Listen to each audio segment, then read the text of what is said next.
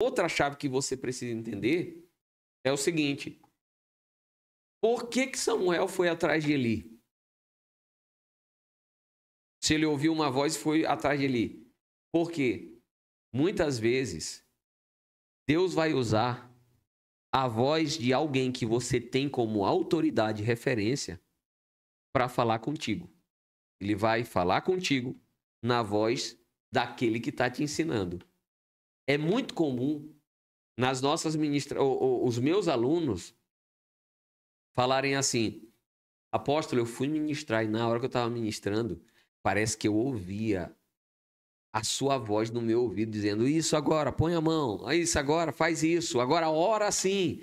Parece que é, eu falei, é o Espírito Santo usando a minha voz para falar contigo, na sua cabeça.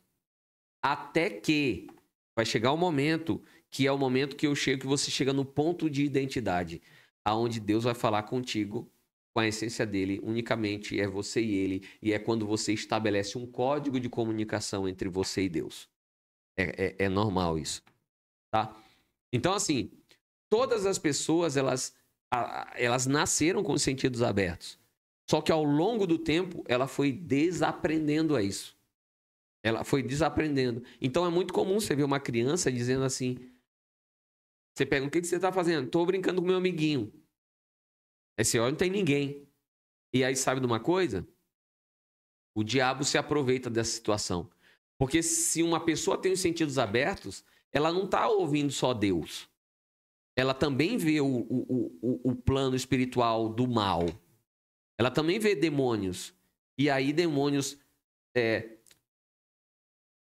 transformados em supostos pessoas de luz vai começa a conversar com a criança e vai persuadindo, e quando pensa que não, a criança desenvolve relacionamento com o demônio, achando que é um, né, alguém de bem, e aí a, a, cresce um adulto problemático, às vezes com esquizofrenia, com, né, desenvolve algumas patologias aí críticas. Mas a verdade é que toda pessoa, toda criança nasce. Então, quando a gente vai para o Ninho das Águias, que é um treinamento presencial, é, aonde a gente, por meio de algumas é, os momentos de oração, de impartição, de transferência é, e de muito ensinamento e treinamento, as pessoas elas voltam a ouvir Deus. Elas voltam a ver o plano espiritual. Elas começam a ativar as coisas. Inclusive, elas veem aonde que, que, que o sentido dela foi travado, foi bloqueado. Aonde que ela perdeu a audição espiritual? Onde que ela perdeu a visão espiritual? Porque tem. O momento que você perde isso daí. Existe um momento na sua vida que isso acontece. Então, quando o inimigo ele, ele não consegue te manipular, ele vai tentar interromper.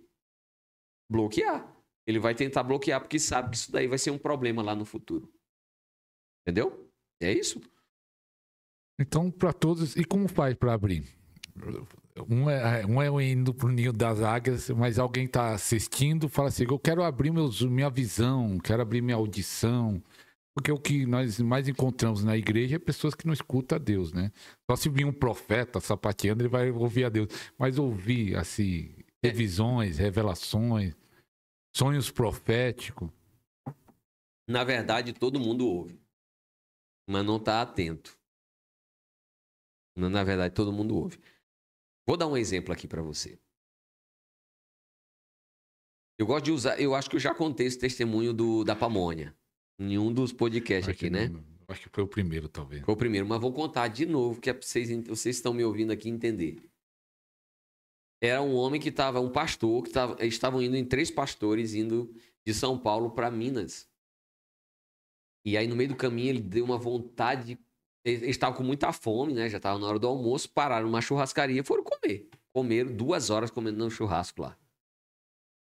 De repente, pagaram a conta, segue viagem. E aí, um dos pastores fala assim: Rapaz, que vontade de, de comer pamonha. Os outros olharam para ele e falaram assim: Cabe? Porque comeu demais. Falou: Cabe. E se não parar e comprar pamonha para mim, eu vou fazer vocês voltar. Resultado: Encontrar, and, indo no caminho, encontraram uma placa gigantesca no outdoor escrito assim, pamonha. E falou: olha lá, para lá que vão comprar. Ele desce do carro e vai comprar pamonha. E quando ele tá indo, ele encontra um cara de cara feia, bem no canto, assim, na calçada. Cara feia. Ele olhou e pensou assim: cara feia para mim é fome.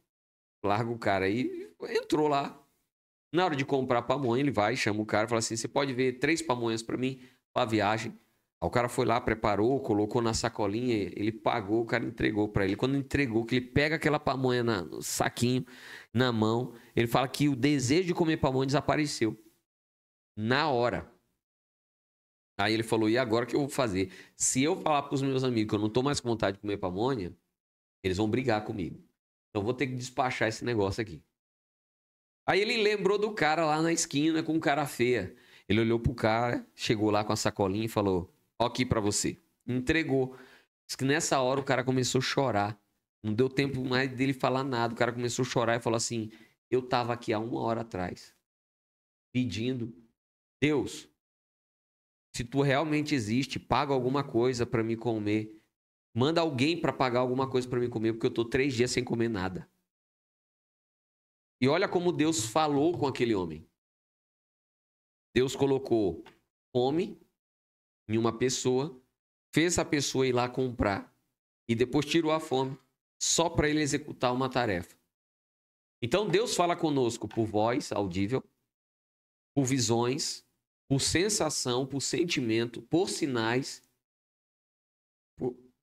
Deus ele, ele vai usar diversos meios e formas para falar conosco o tempo todo e também pela palavra o tempo todo. Porém, o que que nos bloqueia? Eu costumo dizer que o que nos, nos bloqueia principalmente é o conhecimento. Porque imagina um pentecostal contando essa história.